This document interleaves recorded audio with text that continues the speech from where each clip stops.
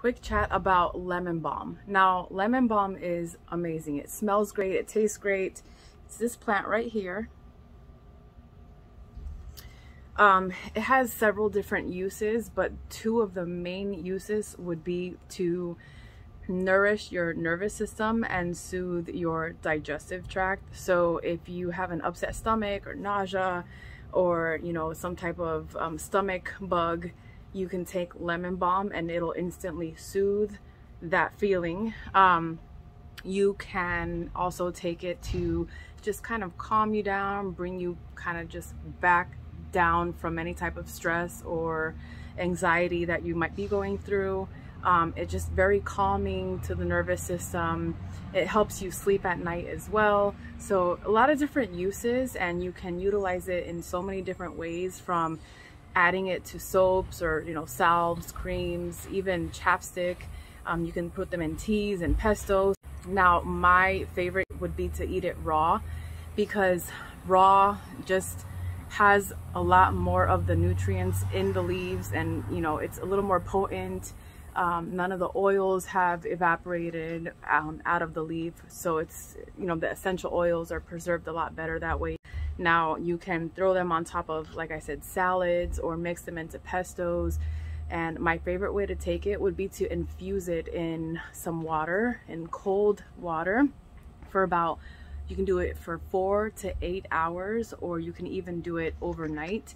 And what you would do is just take a few of the leaves, add, the, add it to some water, um, you can mix in some other things. Like what I like to do is I, I like to mix in some stevia. I have a stevia plant, so I'll take some of the leaves from that plant and I will kind of crush it up and add that to the water and some uh, strawberry tops that I've dehydrated, which I'll show you here.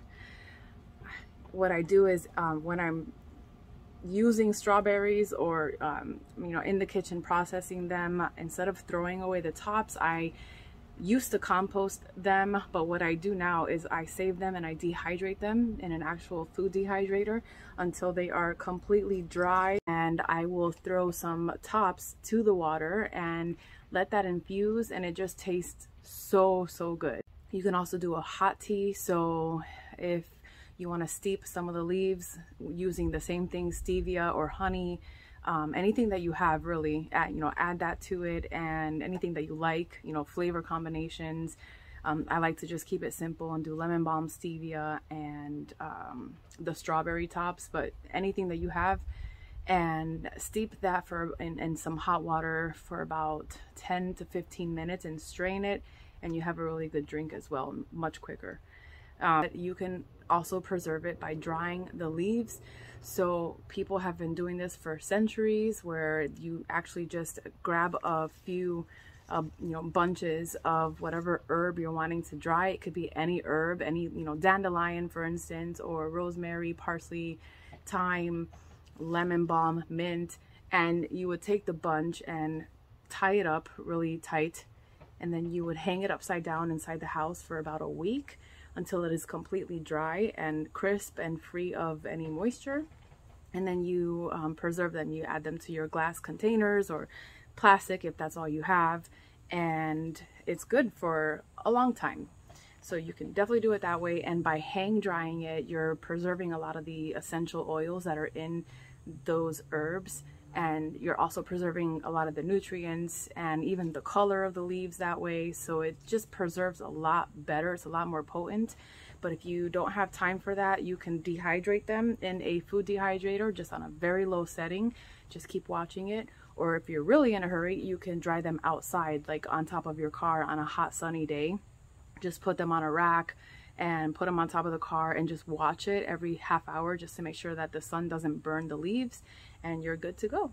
So hopefully this helped you out. Now, I'm not a doctor, and I suggest that you speak to your doctor if you're currently pregnant or on certain medications or have any health conditions just to make sure that you know you cover that with them before you start taking any herbs for any medicinal purposes but what I like to personally do this is just for me is um, you know I do my own research and I you know utilize the herb to you know, for whatever it is that it's giving me, um, you know, medicinal purposes or just because I simply enjoy it. Also, they have a lot of vitamins and minerals in here that you can't get from, you know, conventional foods that we're eating on a daily basis.